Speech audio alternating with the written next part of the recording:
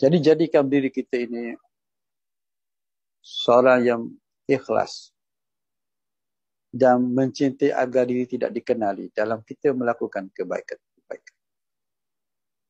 Kita mencintai diri kita tidak dikenali. Apabila kita banyak bersembunyi, kita lebih jujur dalam kehidupan kita. Kalau kita tidak dikenali, kita lebih jujur dan lebih damai kehidupan ini.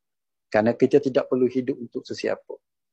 Kalau kita dikenali, banyak hidup kita ini perlu hidup untuk orang lain. Karena orang sudah mengenali kita, maka dengan sendiri kita hidup menjaga pandangan orang, menjaga pemikiran orang dan pelbagai. Coba kita berjalan dengan orang yang tidak dikenali. Orang tidak kenal, dia bebas.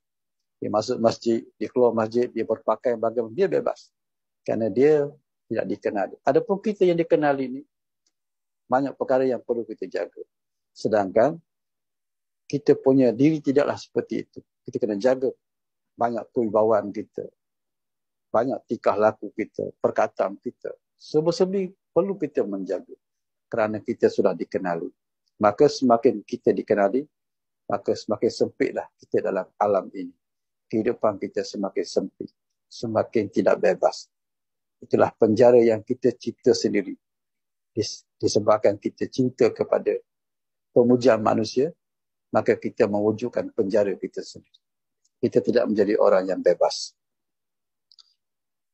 Jadi dalam kita berada dalam perjalanan ini, kalau kita ada sesuatu selain daripada Allah, apa yang kita lakukan tidak lebur kepada Allah. Kita sebenarnya keletihan.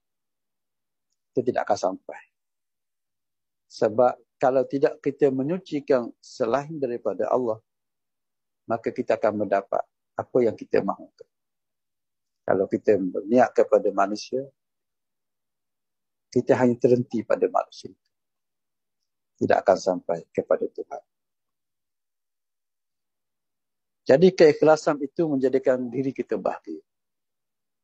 Kita tidak terpurung dalam alam yang sepi.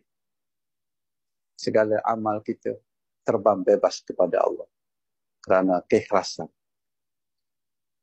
Tidak terkurung dalam alam ini. Kita tidak perlukan siapa memuji kita. Tidak perlu siapa menyanjung kita. Tidak perlu siapa mengetahui kita. Cukuplah Allah mengetahui keadaan kita. Biarlah kewalian kita tersembunyi di sisi Allah.